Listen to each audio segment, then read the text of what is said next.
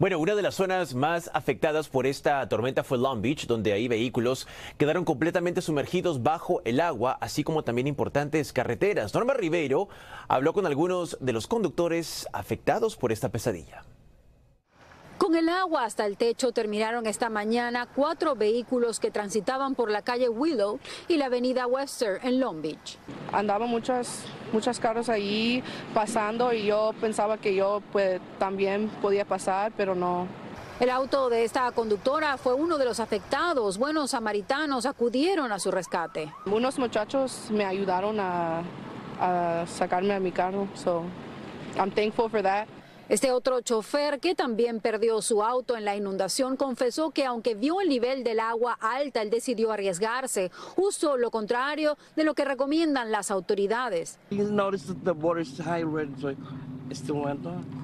A pesar de la situación de emergencia, todos salieron ilesos y es que la mayoría de los conductores sí fueron precavidos. Intenté venir con mi carro, porque miré que estaba mucha agua, so intenté venir con mi carro y me di cuenta que no podía pasar con mi carro. Yo tengo un carro bajito. Otra verdadera pesadilla en los alrededores de Long Beach fue el cierre temporal de la autopista 710 a la altura de PCH en horas pico del tráfico mañanero.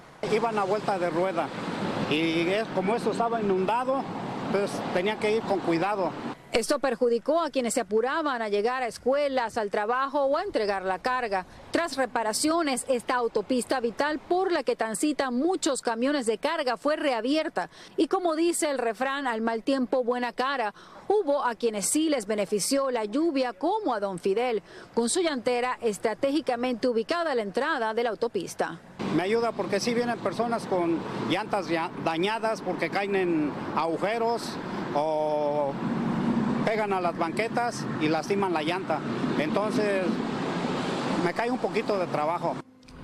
Pero esta situación de autos estancados se extendió por varias horas. Las lluvias van a continuar en los próximos días y esperemos que situaciones como esta sirvan pues de ejemplo para conductores para que sean más precavidos. Yo soy Norma Ribeiro, Telemundo 52.